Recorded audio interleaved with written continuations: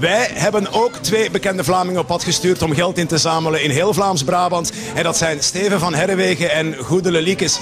En we kijken even naar een verslagje over hun dag.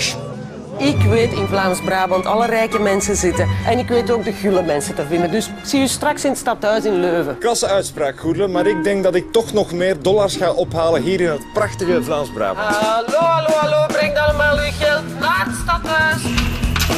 Wij rekenen op u voor uw in het Haiti-zakje. Stop met winkelen, de zolen zijn door bijna. Schud uw zakken leeg en schenk het aan Haiti.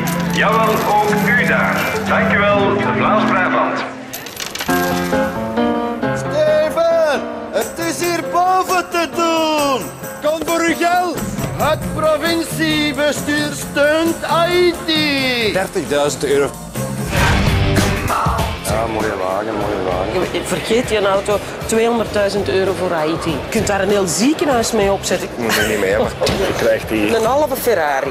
Dan moeten jullie nu ons klanten gerust laten. Je bedoelt gewoon beleefd bollet af. 100.000 euro van Febiak. Ik heb hier mijn Pixar kaartencollectie. Die is nagenoeg compleet behalve twee kaartjes, namelijk de gouden en de blinkende Nemo. Kan u mij eventueel helpen? Ik vrees dat ik je daar niet meer mee kan helpen, Steven. Nee? Wij schenken eh, vandaag 110.000 euro aan de hulporganisatie. Plus dan die 55.000 euro van de klanten die voorlopig verzameld is. Dat maakt samen 165.000 euro dankzij De Leize en zijn klanten. Goele, dat is een strafbedrag. Ik betwijfel of jij het beter doet. 10.000, dat is toch mooi. 10.000. Ja, allee, dat is tof, hè, maar ik, ik denk dat er toch echt een aantal kranten zijn die daar gaan overgaan. Je meent het niet. Zie een keer wat ik doe. Die maakt er 100.000 euro. We gaan er nog bovenop doen. De hele opbrengst van het laatste nieuws morgen gaat integraal naar de slachtoffers van Haiti. Van Herwegen. Mooi. Voilà, Goedele. Zoals je ziet geef ik echt alles voor het goede doel. Ik heb nu zelf mijn kleden weggegeven voor de slachtoffers in Haiti. Maar benieuwd wat deze dames hebben gedaan voor het goede doel. Wij, wij schenken vandaag alle sauna-toegangen volledig aan het goede doel. En we zitten momenteel toch aan een bedrag van 5000 euro. 5000 euro, dat kan tellen. Hier wordt keihard gewerkt, Goedele. Voilà, welkom. Hebben jullie geld opgehaald? Ik heb 200.196,78.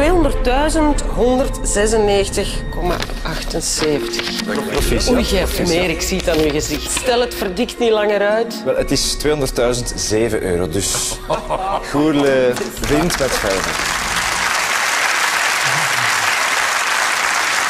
Michael, is er tussen het stadhuis en de Oude Markt, ik weet dat dat niet ver is, maar is er nog iets bijgekomen? Ik denk het wel, eh Martien. We komen het zo meteen te weten, want onze geldinzamelaars zijn erbij bij komen staan. Goedele, om maar meteen met de deur in huis te vallen. eh, jij hebt een optelsommetje gemaakt. Vertel eens. Ik heb de rekenmachine ter hand genomen. Om te beginnen, hè, als startbedrag staat onze teller in Vlaams-Brabant nu op 440.000 euro. Een startbedrag, daar komt sowieso nog minstens 50.000 bij. Hè, die ze bij de krant hadden beloofd.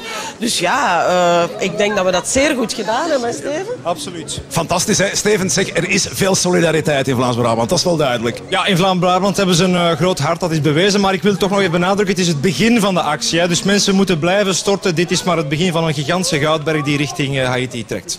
Zo is dat, inderdaad. Dankjewel, eh Steven en Goedele. Blijven geven in Vlaams-Brabant. En we kunnen nu al dat eh, gigantisch fijne bedrag van eh 440.000 euro richting jullie sturen. Alsjeblieft. Daar zijn we ongelooflijk blij mee. Bedankt.